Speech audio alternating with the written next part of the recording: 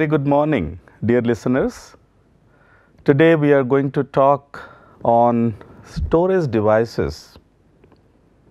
As you all understand, renewable energy integration to any power system requires reasonable amount of storage so that the intermittency or the uncertainty associated with the renewable generation can be protected. For an example, in any case for example, solar the maximum energy which is available to you during the day and not necessarily that your peak requirement, peak energy requirement may fall exactly at the time of peak solar energy production. And if the load is reasonably low during the maximum generation of peak solar energy production, then the excess energy available to me from solar may not be utilized efficiently. If the system is integrated with huge renewable and if the grid is hungry to absorb all the energy available to you from the solar, then it is fine. But if your system is islanded or not able to accommodate the solar energy at a given point of time, then we need to store those available energy from solar so that it can be utilized during the second peak or during the evening hours. Now, let us look into the wind energy. Now, the maximum energy available to you from wind is during late evenings and as a whole the peak requirement in the evening hour do not fall in line with your maximum wind energy available to you. Once again the wind energy need to be stored during midnight so that that can be utilized during day peak. So, as a whole what I wanted to focus here if you wish to integrate maximum percentage of renewable to your grid and if they are of solar or wind you need to have storage technology in place so that the investment being made for renewable integration is being justified. Now, always please remember God is not very kind to engineers and especially for renewable or smart grid engineers because the peak energy requirement period unfortunately do not fall with the peak generation from both the renewable sources especially from solar as well as wind. So, let us focus how this challenge can be addressed by having storage devices and how to model and all the issues related to storage technology. Now, moving into these are the points we like to talk today especially the importance of storage system and types of storage, storage systems, battery key terms, types of batteries, battery modeling, ultra capacitor modeling, cell selection, factors affecting my battery, IEEE practices for battery sizing and finally IEEE standards. Now, what is the importance of a storage system? Now, the first important one is during renewable energy excess as well as deficit.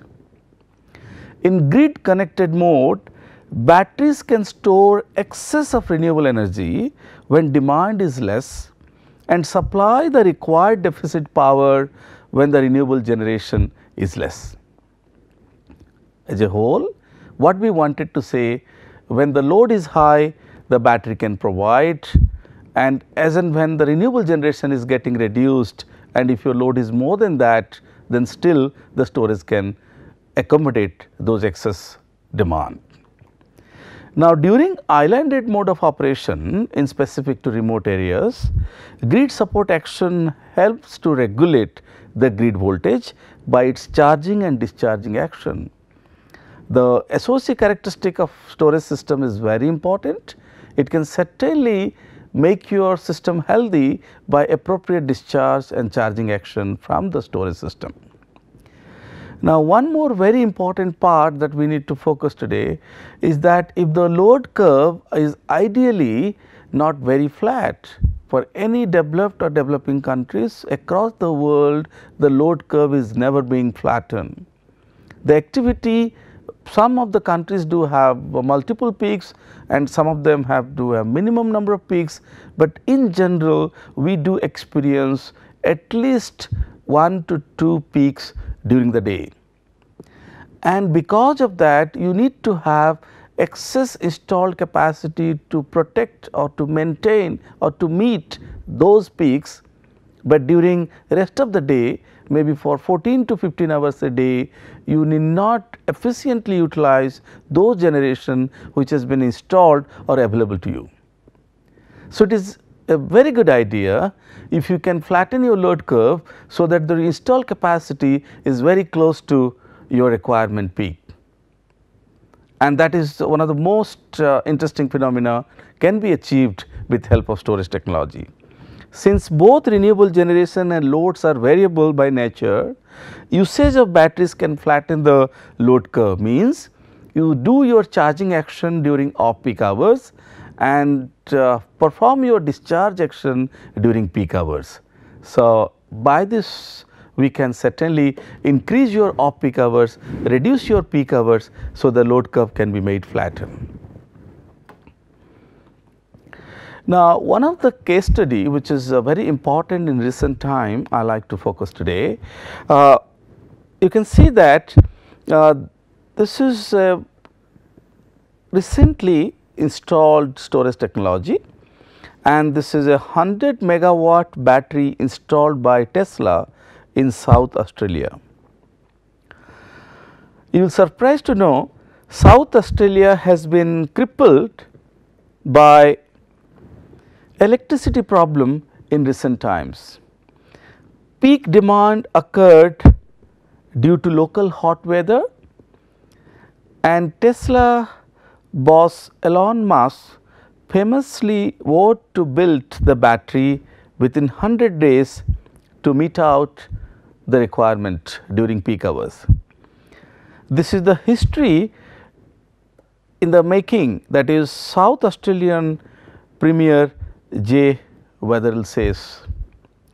Now, what it happens that what it does basically 100 of 100 megawatt of energy megawatt hour of energy can be stored during peak renewable generation production and can be discharged during the peak demand of the consumers. Now, there are different type of non-electric storage system that also we need to understand in a given power system. Now, first one is a mechanical storage that is pumped water storage, compressed air storage and flywheels. One of the very common storage scheme today uh, could be of pumped water storage where the water can be pumped back to the dam during off peak hours so that we can utilize those uh, energy or the water during peak hours through proper discharge. Now, in case of electromechanical storage we do have accumulators with internal, internal storage, accumulator with external storage and hydrogen systems. And we do have thermal storage which is hot water storage. Look into the energy storage system, uh, this is mainly my battery storage system. And you can see the superconducting energy storage and finally we do have super capacitor. Electric storage most of them are battery but we can certainly move to superconducting as well as supercapacitor because they possess not simply store the energy, but also perform other technical challenges faced by any given grid. Now, the battery storage system improves the reliability to the utility or customer because it can provide you energy as and when required. Power balance is achieved by both charging and discharging, reduces system loss and improves overall efficiency because it is locally being supplied, reduces peak electricity demand and makes grid more resilient and stable, provides ancillary services like fault ride through, reactive power and virtual inertia. Now, how do you decide where to place your battery, what would be its magnitude, number of batteries, everything need to be analyzed before we manufacture and put them in place. It should match with the properties of the power system, required storage capacity, minimum storage period, charging and discharge time, required energy density and lifetime, available location and environmental factors and minimum number of storage cycles. So, those are the factors one would one need to keep in mind during taking a decision. Now, these are the key important terminologies one has to understand before start modeling the system especially the energy storage system. First one is battery duty cycle. The sequence of loads a battery is expected to supply for specified time period is known as battery duty cycle.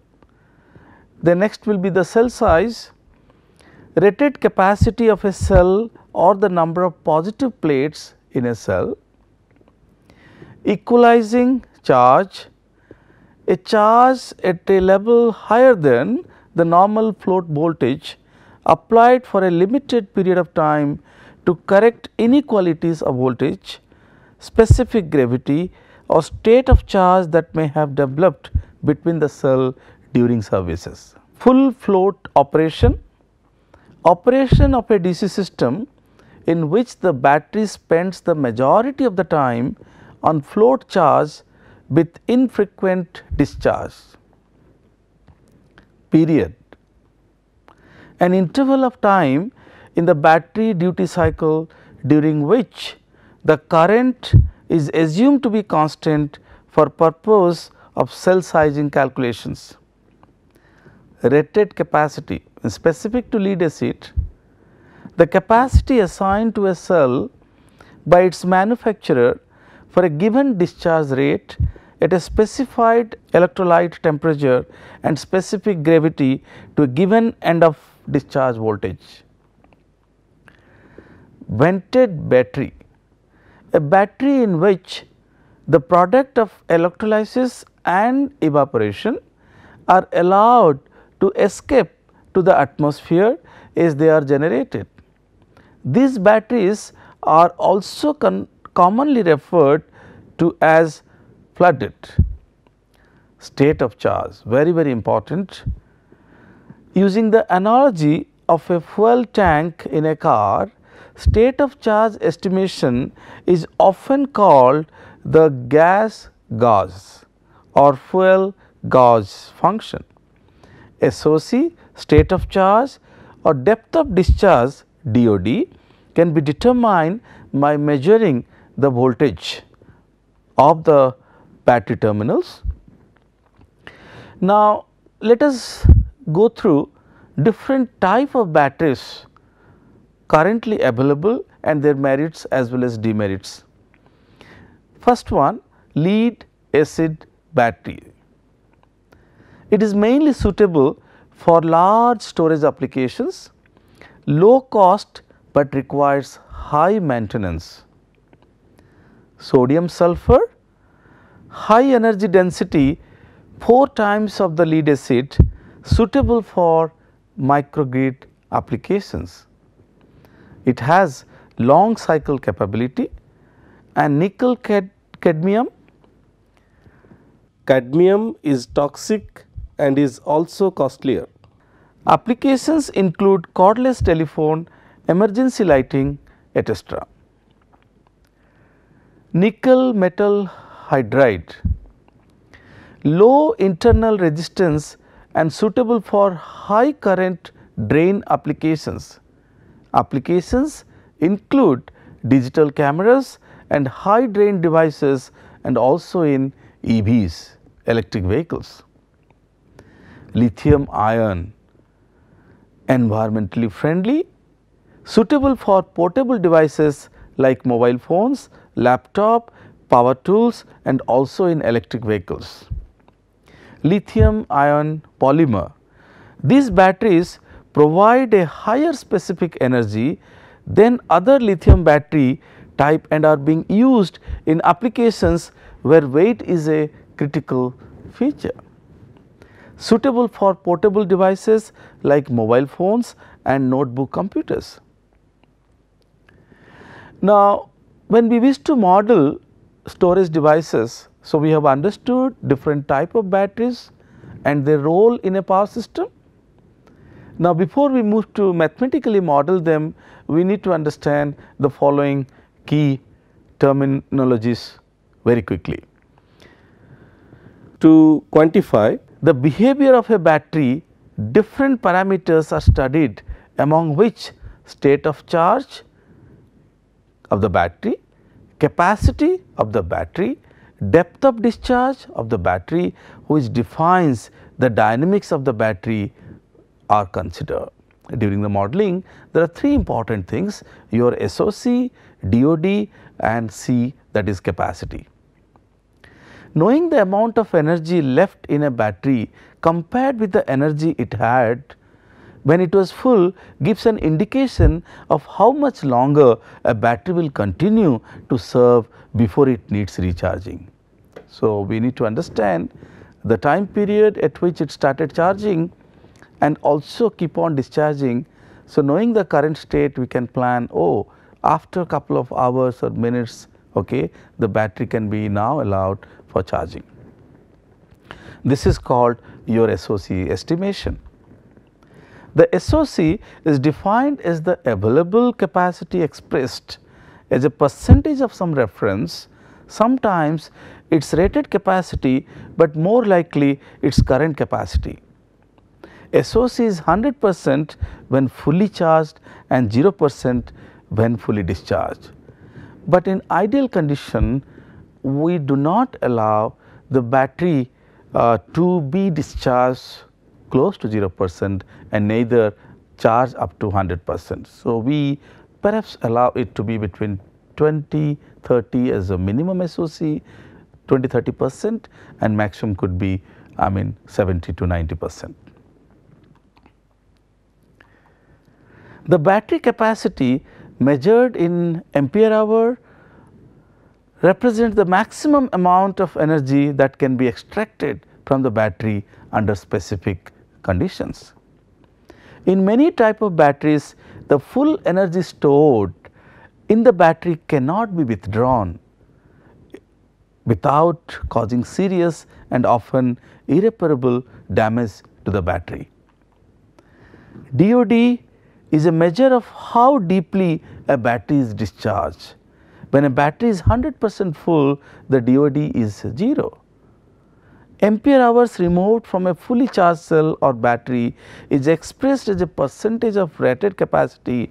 For example, if 25 ampere hour are removed from 100 ampere hour battery, its depth of discharge is 25 percent and the battery is at 75 percent state of charge such as DOD is 1 minus SOC in percentage. So, you can clearly see this 25 out of 100 allows me the DOD to be 25 percent and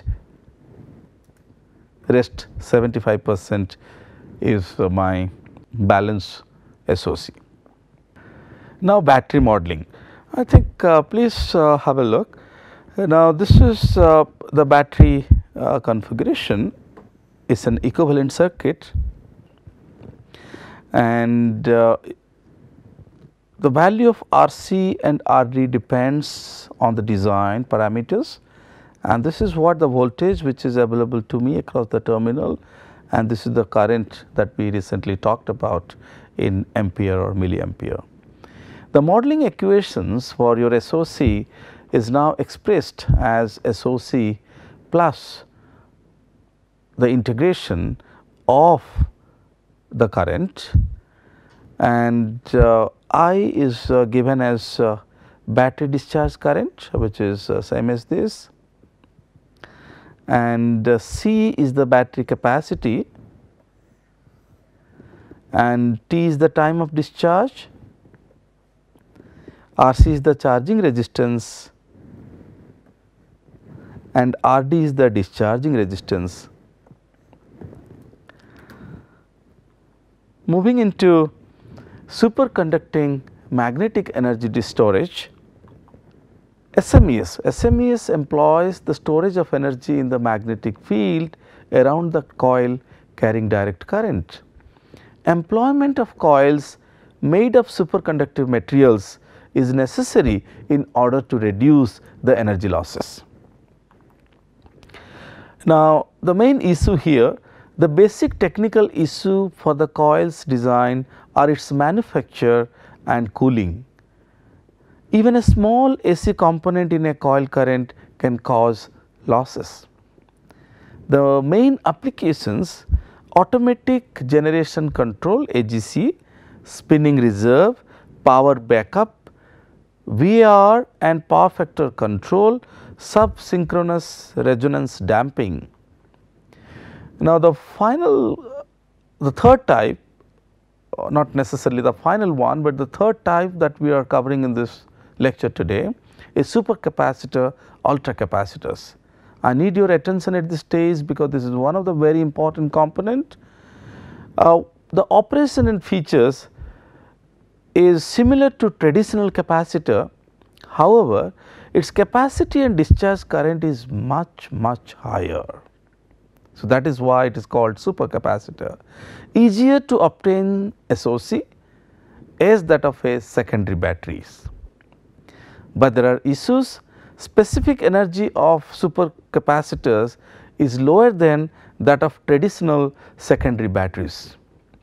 Cell module voltage imbalance which is common and the major application is in DC microgrid to compensate for high switching transient DFIG fault ride through improvements also as voltage stabilizer, laptop computers and handheld devices.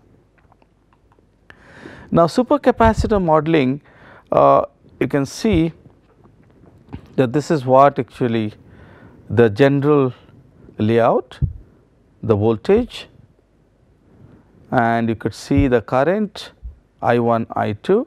There are two resistances in shunt and the capacitor and the voltage is given by this expression to represent the VCU, VUC can be obtained by this equation which is your terminal voltage available to you. Now, when you consider cell the physical characteristics such as dimensions and weight of the cell which is important planned life of the installation and expected service life of the cell, frequency and depth of discharge, ambient temperature,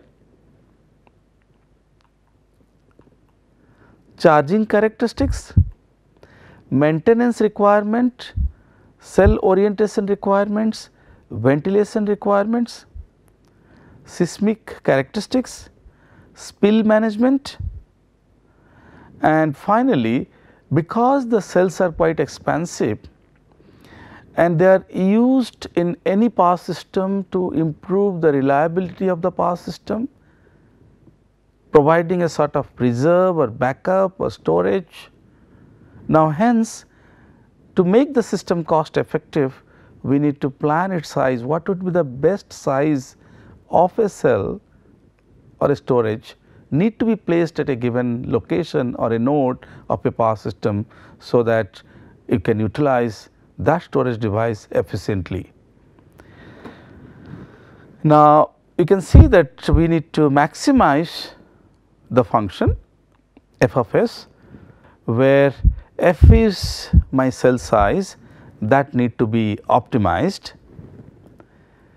where S is the section of duty cycle being analyzed n is the number of periods in the duty cycle, p is the period being analyzed, AP is the ampere required for the period p, t is the time in minutes from beginning of the period p through the end of the section S, CT is the capacity rated factor for a given cell type at the t minutes discharge rate in specific at 25 degree Celsius to a definite minimum cell voltage. Fs is the capacity required by each section. Now, what are the factors governing my size? The maximum system voltage, duty cycle, the minimum system voltage and finally, the correction factor. So, these are the four important factors decide the size of the battery.